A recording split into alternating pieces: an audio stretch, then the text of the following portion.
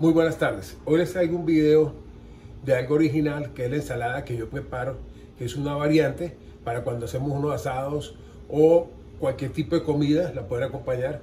La verdad es que es muy versátil y es muy rico.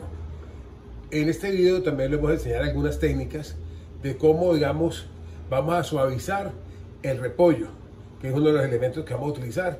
El mise en place lo dejo al final del video. A continuación, ya inicio con la preparación de nuestro plato del día de hoy. Vamos a sacar las hojas del repollo. Los repollos debemos buscar, primero, que sean lo más verdes posibles. Segundo, sean macizos y no pesen tanto. ¿Por qué? Porque si, si está muy pesado el repollo, quiere decir que ya le he ido quitando demasiadas hojas externas y ya lo que queda es la parte interna y por eso mismo está pesado.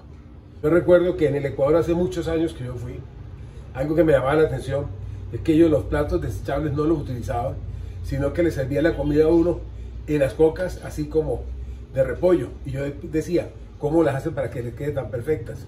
Y es muy sencillo, como acaban de ver.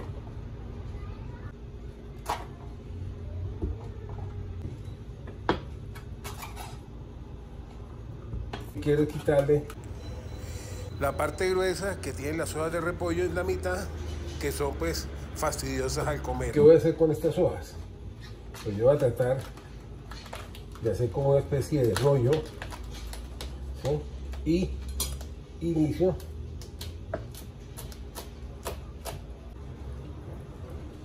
partimos más o menos tres partes para que no quede tan grande en el mise en place yo le puse sal porque nosotros precisamente para suavizar el repollo lo vamos a remojando siquiera una hora sal suficiente. Otra forma de cortar el repollo sesgado como acabo de hacer yo son los dos métodos que tenemos para picar el repollo. Ahí tenemos suficiente. El repollo suda esta es la parte que les decía.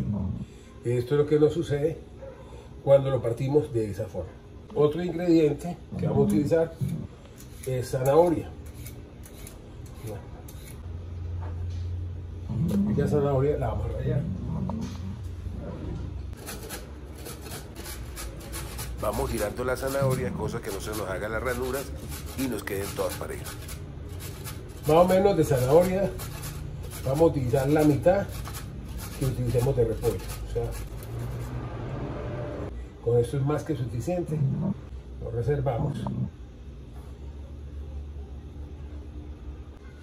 La papa, yo pues la pelé. Si la notan, está muy blanca. Porque yo le hice una cocción inicial, no la partí incluso ni, muy pareja los cubos, cubos más grandes, más pequeños, pero si ven, todos quedaron enteros, no se me deshizo ningún tubo, ni ningún cuadrado ni nada, quedando en su cocción perfecta, miren. O sea, ahí nos damos cuenta que está perfecta la cocción. ¿Qué hice yo? Yo utilicé, eh, puse a hervir el agua, le quité un poquito, la lavé, la jugué, eh, le puse sal suficiente y le puse más o menos un 5% de vinagre con el vinagre yo logro de que ella, las paredes no se me deshagan y me quede de la misma forma y puedo darle todo el palote que yo quiero, que no se me va a desarmar. Entonces de esta forma me quedó mi papa. Ya la hice desde un principio porque necesito para cuando vaya a preparar mi ensalada esté totalmente fría. El repollo que me sobró lo voy a guardar en papel film. Siempre lo pongo del lado en que yo hice el corte. Que me quede bien sellado. Y así lo llevo a la nevera y puedo conservarlo perfectamente. No sé si de pronto observan, ya el repollo ya empezó a sudar. Pues simplemente probarlo. Hay que darle mínimo media hora, pero lo ideal es una hora. Aquí voy a preparar mi ensalada. Entonces, ¿Qué voy a hacer primero? Yo tengo un aceite que hice de romero, es muy fácil. eh, ustedes simplemente toman el romero, lo ponen dentro de un frasco, pues digamos un sitio que quede oscuro, lo rellenan con aceite de girasol en este caso, y más o menos en 15 20 días o un mes ya tienen el aceite de romero que da mucho sabor y realza todo lo que ustedes hagan sin quedar, sin ser agresivo. Yo remojo mis, mis papas con el aceite de romero para darle el brillo y darle sabor. Voy a adicionar los pepinillos.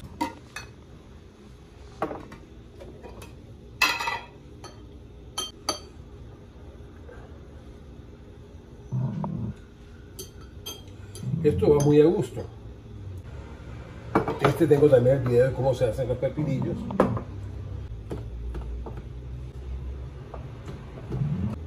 Lo adiciono a mis papas.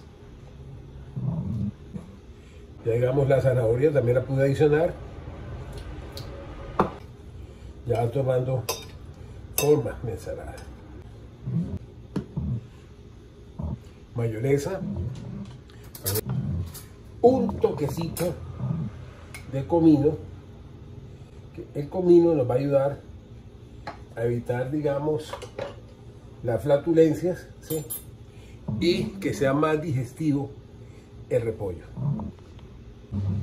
un toquecito de mostaza. Vamos revolviendo.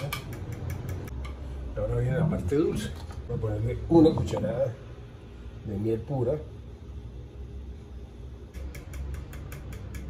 Y la suavizamos con nata o crema de leche.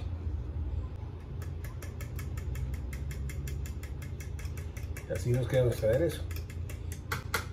Si nos queda de más o nos sobra aderezo, este lo podemos utilizar unas hamburguesas, unos perros calientes, para hacer más ensalada.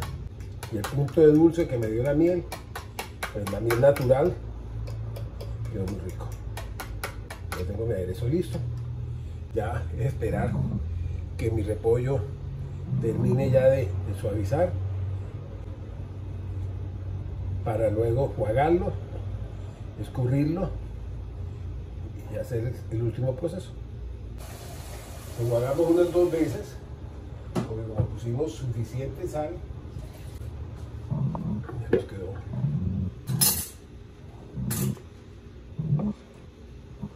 Bueno, ya vamos a adicionar nuestro repollo. Revolvemos primero sin ponerle el aderezo como ven con los colores, se ve provocativa. Y esta es mi ensalada que utilizo para cuando hago los asados. Espero que si les gustan estos videos, no se olviden de darles like y suscribirse a mi canal. Y qué rico sería que me dejen sus comentarios de cómo les ha parecido el video. Ya simplemente adicionamos el aderezo y ya revolvemos. Así ya era más fácil. Y así nos quedó nuestra ensalada. Y así les gusta con más aderezo. Pero tampoco es bueno porque que la idea es que cada cosa quede con su sabor y no invadamos el, digamos, el sabor de la ensalada con el aderezo. Como pueden ver, las papas se mantienen perfectas. Lo logramos utilizando un poquito de vinagre en la cocción. Probarla, veanla.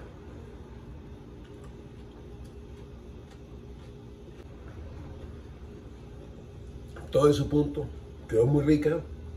Ahora ya la llevamos a la nevera, aquella fui, y ya la servimos para acompañamiento de nuestro asado o de nuestro guisado, de cualquier tipo de comida que tengan ustedes, es ideal. A continuación, sigue el mise en. El mise en place de este plato es zanahoria, papa capira o papa normal, repollo blanco, miel de abejas pura, comino, mostaza y mayonesa. Pepinillos, aceite de romero y crema de leche. Y hasta uno próximo y mil y mil gracias.